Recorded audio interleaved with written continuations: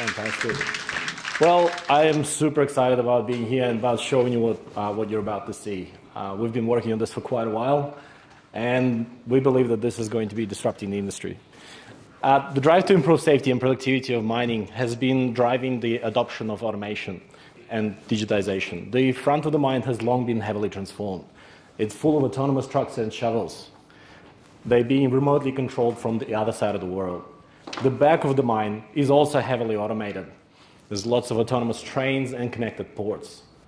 But what about the middle part of the plant? This is the biggest section where most of the vital machinery is. And also, there's hundreds of people walking around, so the potential to unlock here is near limitless. So why is it still not done then? Well, the reason why it's not done, because this is some of the most difficult parts to digitize in a conventional way. Running cables never seems to be a cost-effective option here. Uh, and to set up a Wi-Fi network here is challenging to say the least. I mean, most of the area looks like uh, steel and concrete superstructures that are designed to house electric motors and pumps that produce an immense amount of electromagnetic noise. On top of that, these are very hard to reach uh, locations. And uh, to get a Wi Fi expert on site in the middle of nowhere is challenging in the best of times. But what if I told you that there is a better way?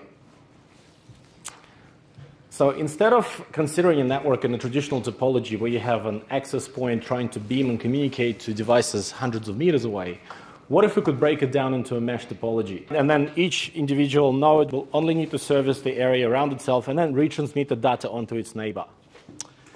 The disadvantage of that, obviously, this is a much better topology, but the disadvantage of that, you need a lot of nodes. Well, you see, lighting actually positions the best device for, this, for such nodes. Lights are elevated, they're permanently powered, and they're located everywhere throughout the site. Well, at least everywhere people need to get to, right? And the best thing about it, lights are routinely maintained. Meet Coolon DLK. This light has withstood the test of time. Uh, it, the reason why I chose this one, because there's thousands of them. If you walk out onto any an average mine site, you will see hundreds to thousands of DLKs scattering throughout the site. So we've built a new generation with a uh, smart connected node. So basically, it's a networking node inside the light. And pretty much all the lights from the last year have had the networking nodes in them. So what we then did is we actually uh, set up a network in a way, it's a quite ingenious uh, work of our engineers that connects the network in a way that join the network automatically. And this is probably the key because there is no networking engineers on site, so no one's going to be crawling around connecting networks. So as soon as the light uh, sees another light within a 30 meter radius, they join together and form a cluster. And then eventually the cluster grows and forms a network. But then initially we wanted to do this uh, just like any other lighting company to do the lighting stuff, to dim the lights up and down, to turn the lights on and off, to inspect the lights, to do the automatic emergency lighting inspection and so on. But once we actually deployed it, we realized that um, the platform that we're using is actually quite ingenious. And that platform hosts a lot of really innovative solutions. So instead of doing the conventional way and just locking ourselves up to that platform on our own, we actually opened up to everyone else who's using the same technology. You can think of it like an app store for applications, right, for IoT services. Imagine if you could do an integrated asset tracking by slapping a node like this onto any device around, or any crate or box or anything that you're trying to find around the site. And then uh, lights will basically show you uh, wherever the, the node is. So it's basically an integrated asset tracking at virtually no cost. It's a $50 node. What if you could do uh, personnel tracking? What if you could locate people anywhere on site, including underground, uh, across buildings, including multiple levels, and in areas where there's no radio reception? Because lights penetrate into this area and they'll form the network inside. With that, what if you could do an instant roll call? In case of emergency, typically in evacuation, there's about 10 or 15 minutes when people start to exit and you have absolutely no idea if anyone's safe or not. What if you could actually track exactly what happened and exactly who is where? Other service providers are offering um, machine condition monitoring. What if you could analyze vibration and rotation of any rotating machinery and predict failures before they even happen? So there are some companies offering that service as well. They operate on the same platform. The innovations don't stop there. This is a smart bolt uh, being developed, and uh, you could basically predict the wear of the lining of the bin, and instead of replacing everything at once, you could replace the bits that only need to be replaced. Again, that's not that different to machine condition monitoring, just a different application. Then there's temperature in environmental sensors. Again, device is not too different to this. It costs about 50 bucks. And you could just slap it on anywhere around the uh, location, anywhere around the fixed plant, and you can get a real-time uh, readings of the temperature, humidity, air quality, noise, lighting, right? You can do all of these measurements at virtually no cost. Then you could start to improvise and kind of start to create customized solutions for your particular needs, right? You could actually, uh, one of the applications we've come across is the lockout tags, right? So people constantly forget to lock out. They constantly, every time you drive out from site, there's big signs, don't forget to lock out. Did you forget to lock out? Somebody forgets to lock out, then they have to come back and unlock. What if you could do an asset tracking node similar to this? One on the lock, one on the person, and one on the board. If the person is leaving the boundary of the site and the lock is not back on the board, you forgot to lock out. You can issue an alert. You have lots of specialist tools on sites, quite expensive tools, and they're quite rare, and a lot of them require calibration and shouldn't be exposed to harsh conditions.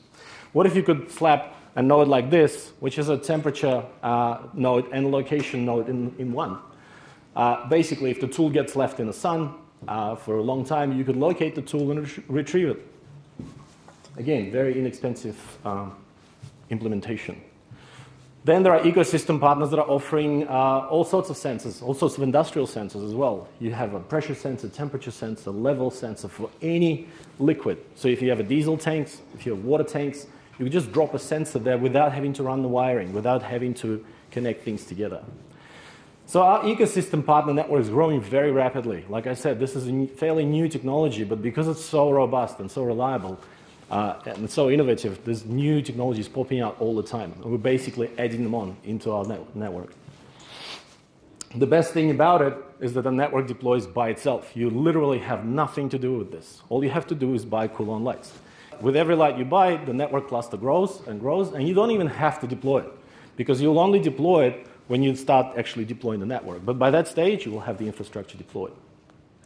I wanted to talk about digital transformation. It's really, really hot topic, and just about any conference where you go to, people are talking about digital transformation and digitization of sites. But I think the common misconception is digital transformation is not a project, it's a journey. The reason why it's a journey because it's based on technology, and technology evolves. So let's say right now you have a site where you're monitoring a few things here and there, as you do, right? And as technology evolves, uh, monitoring becomes cheaper. And as we're just, Greg just talking about data acquisition, you can acquire more and more data at relatively low cost. So you start monitoring a bit more data. And then it becomes even cheaper and more convenient, and there's more sensors, and you start monitoring more data. And then it becomes even cheaper, and you're monitoring even more data. Now, when you get to this level, it takes way out of scope of your uh, wireless network. This is the kind of network we're bound to create. We're saying we're not trying to uh, eliminate Wi-Fi networks. We're thinking that Wi-Fi network is critical and keep it for mission critical stuff.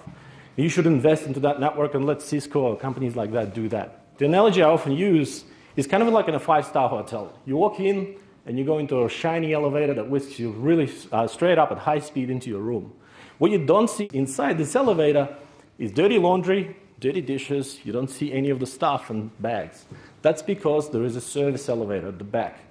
Big and heavy elevator that moves really slowly and stops at every floor. That's the network we're trying to create.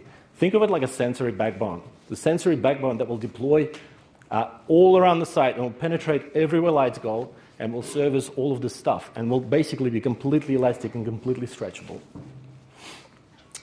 The implementation of the network actually allowed us to create products that never even been seen before. So we tackled an application of having visual uh, signaling. And we've created a product that can provide visual signals all across the site. It can provide you visual signals for lightning. Not only the product itself blinks, but because there's a radio network deployed, every light within the vicinity can actually replicate that. So you don't have to have it within the visual distance of the light. You can actually look up to the nearest light around you, and you'll get the visual signaling. Then we've created, we tackled other challenges that we had over the years. For example, some sites require amber lighting for environmental reasons, but white lighting is better for people. But now that we have wireless network, we can actually set up a light that changes together with white for people and keeping the whole site for amber for environmental. Another thing that we could do is we could deploy lights and create every light as an emergency. So you no longer have to worry about two different designs.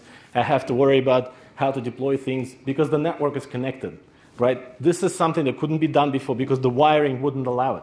But now we no longer have to rely on the wiring. We no longer have to rely on uh, UPS systems or other emergency back systems because this is all taken care of.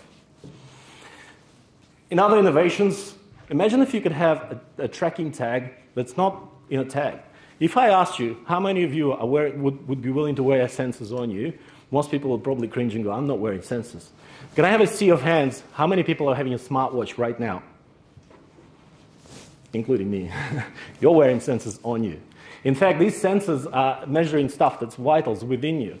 What if I told you that we can make a watch that beacons around and pumps the vitals through the lighting network onto the control center?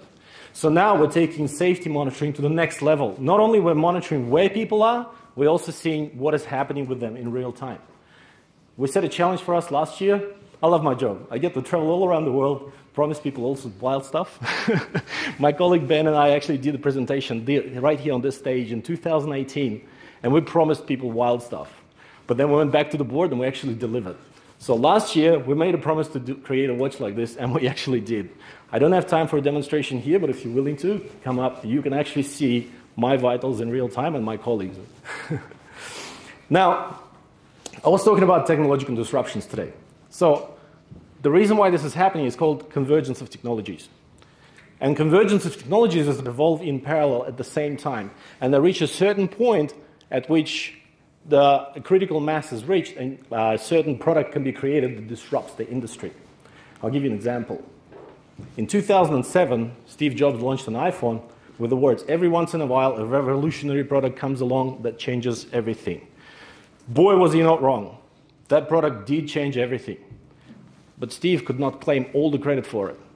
I mean, this happened, the reason why this happened in 2007 and not in 2003 or 2004, because certain technologies had to catch up. Technology for screen, technology for multi-touch, technology for battery, technology for radio communication. And then it took Steve Jobs and a talented team of Apple to put it all together into a product like an iPhone in 2007. Now, even in 2007, when he launched an iPhone, he launched it for three applications. He literally said it is a music player, a phone, and an internet communicator. Back then, he did not say it was going to be thousands of devices, tens of thousands of devices, but it was clear. But back then, you could see three applications. Similarly to today, we see very few applications, but we can see that there's a potential for expansion.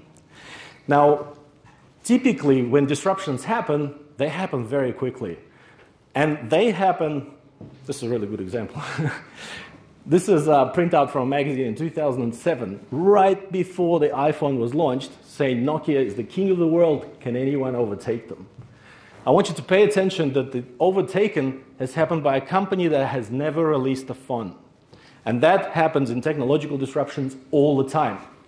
Now, Uber has revolutionized the transport industry without owning a single car.